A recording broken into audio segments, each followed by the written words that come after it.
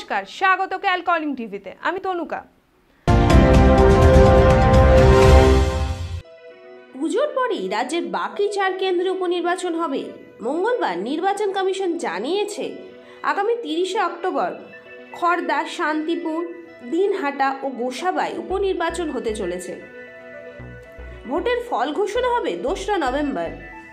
বিজ্ঞপ্তিতে কমিশন জানিয়েছে চার কেন্দ্রে মনোনয়ন জমা দেওয়ার শেষ দিন আটই অক্টোবর।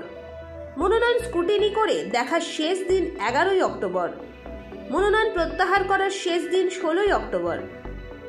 নির্বাচনের প্রচারের ক্ষেত্রেও কিছু নির্দেশিকা দিয়েছে কমিশন। বদ্ধ জায়গায় সর্বোচ্চ তিরিশ শতাংশ বা দুশো জনকে নিয়ে প্রচার সভা করা যাবে। খোলা জায়গার ক্ষেত্রে পঞ্চাশ শতাংশ বা সর্বোচ্চ পাঁচশো জনকে নিয়ে প্রচার করা যাবে। তবে তারকা প্রচারক হলে সংখ্যাটা সর্বোচ্চ হাজার জন হতে পারে।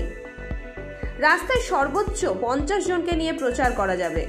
জাতীয় বা রাজ্য স্তরের স্বীকৃত রাজনৈতিক দলগুলি সর্বোচ্চ কুড়ি জন তারকা প্রচারককে নিয়ে প্রচার করাতে পারবে। নির্বাচন কমিশন আগেই জানিয়েছিল, তিরিশে সেপ্টেম্বর ভবানীপুর কেন্দ্রে উপনির্বাচন হবে। কিন্তু বাকি চারটি কেন্দ্রে ভোটের দিন ঘোষণা করেনি কমিশন। অবশেষে ভবানীপুরে ভোটের ঠিক এক মাস পরেই সেই কেন্দ্রগুলিতে নির্বাচনের দিন ঘোষণা হলো। ভোটের ফল ঘোষণার আগেই করোনা সংক্রমণে মারা যান উত্তর চব্বিশ পরগনার খড়দার তৃণমূল প্রার্থী কাজল সিংহ। সেখানে জিতেছিল তৃণমূল। বিধায়ক পদে শপথ নেওয়ার পরে মারা যান দক্ষিণ চব্বিশ পরগনার গোসাবার তৃণমূল বিধায়ক জয়ন্ত নস্কর। এছাড়া বিধানসভায় জিতেও সাংসদ পদে থেকে যাবেন বলে কোচবিহারের দিনহাটা ও নদিয়ার শান্তিপুরের বিধায়ক পদ ছেড়েছেন বিজেপির দুই সাংসদ, নিশীত প্রামাণিক ও জগন্নাথ সরকার।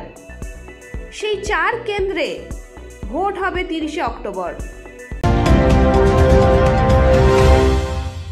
রাজনীতি থেকে খেলার ময়দান, বিনোদন থেকে অফ বে ট্রেন্ডিং নিউজ সব খবর, সব দিকের খবর শুধুমাত্র ক্যাল কলিং টিভির পর্দায়। ফলো রাখুন আমাদের Facebook page like comment share করতে ভুলবেন না এবং আমাদের ইউটিউব চ্যানেলটিও সাবস্ক্রাইব করে দেবেন এবং সব খবর সবার আগে পেতে প্রেস করে দেবেন বেল আইকনটি সঙ্গে থাকুন ক্যাল কলিং টিভির প্রাণের কলকাতা, কলকাতার প্রাণ।